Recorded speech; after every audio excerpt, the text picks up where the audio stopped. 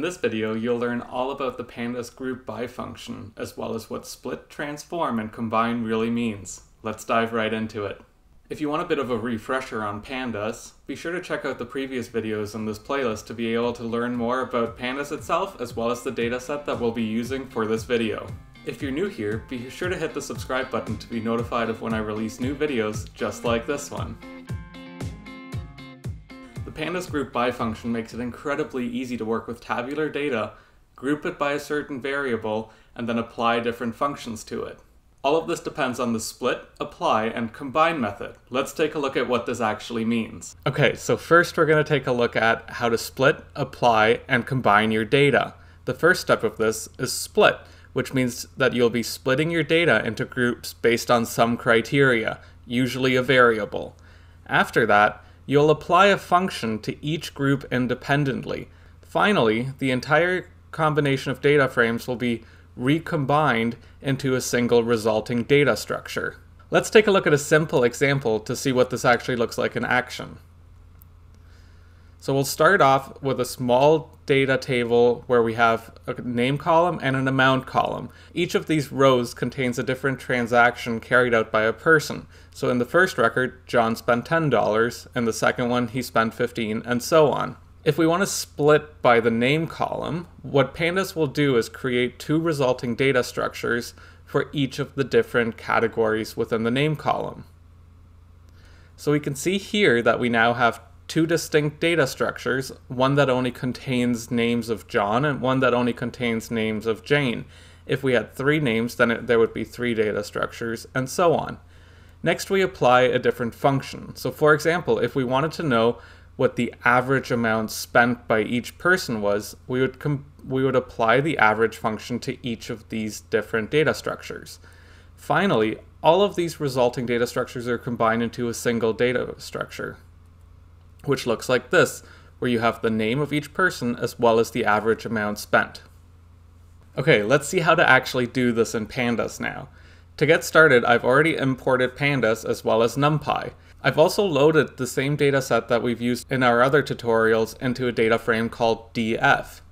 Now if you're not familiar with it, I strongly recommend checking out the, the other tutorials which cover off in a lot more detail what data is actually contained within this data set. But let's explore just the first couple of rows.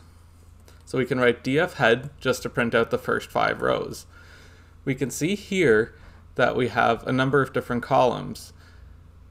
Specifically, we have the major category column, which groups different majors together, and then we have different attributes for each of these majors, such as the total number of graduates, the total number of men, the total number of women, the proportion of women to men, as well as the median starting salary for each.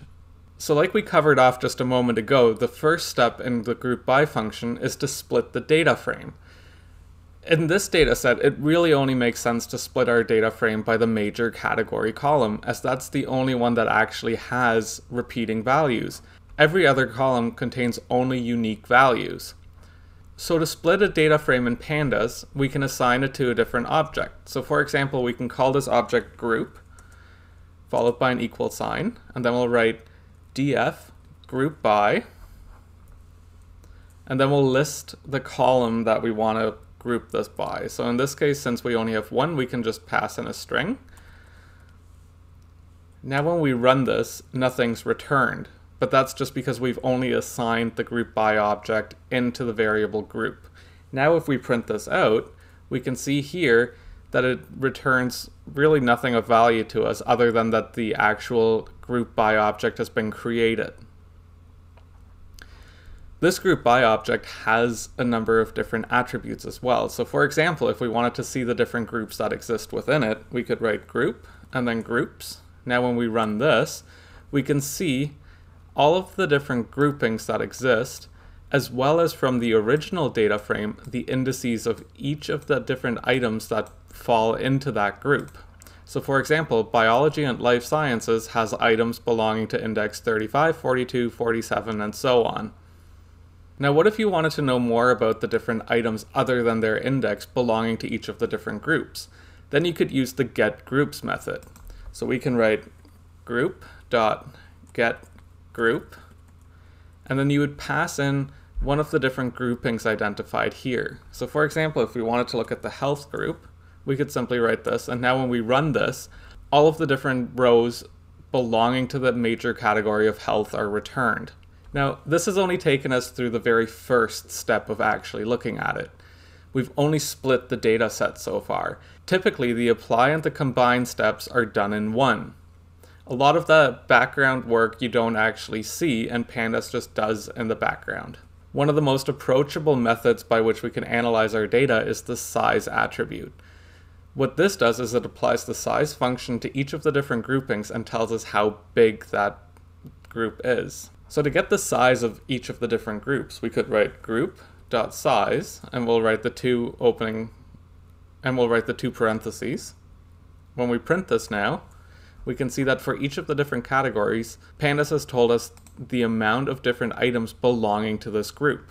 Now, what if you wanted to know just the size of a particular column within that group? So for example, if we wanted to look at the size of the share women group within this, we could write group and then use the dictionary accessor here, share women dot size.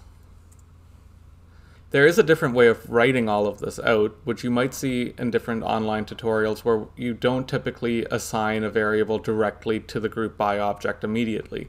So what we could write is df.group by, and then just like we did before, major category, and then our variable, and then size. This returns the exact same thing, simply because all of this had previously been assigned to the variable group. Now you might be wondering what other functions you can use. One of the most useful functions is the max function, which will return the maximum value within each of the different categories. So for example, if we wanted to look at the maximum median starting income, we could write group median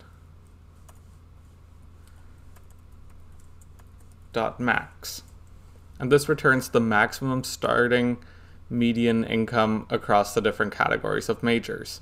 There are many different aggregation functions that you can use, but some of the main ones include mean, which returns the mean of all of the different groups, sum, which returns the sum of all of the different group values, size, which computes the group size, and we've already covered, std for standard deviation of all of the different values within the groups, and var, VAR, for the variance of different groups. I'll post a link in the description where you can learn about other methods that you can use.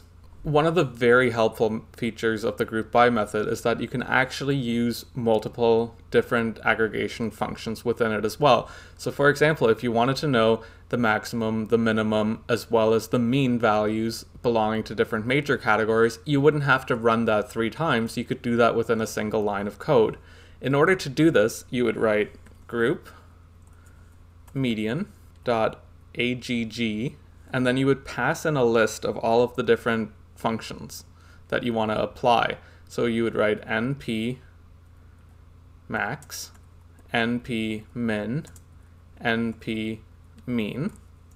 When, when you print this, it will return the, the max value in one column, the min value in another, as well as the mean within another column for all of the different major categories. Okay, you've learned quite a bit in this video. You learned how to group data in pandas and then apply different functions to it and combine it back into a resulting data frame with your analysis. As an extra challenge, let me know how you would find the major category with the highest proportion of women. Let me know in the comments how you would do this. If you have any questions about this video, let me know in the comments and I'll be happy to answer it. If you enjoyed this video, be sure to hit the like button if you haven't yet, click subscribe to be notified of when I release new videos just like this one. Thanks so much for watching, and have a great day.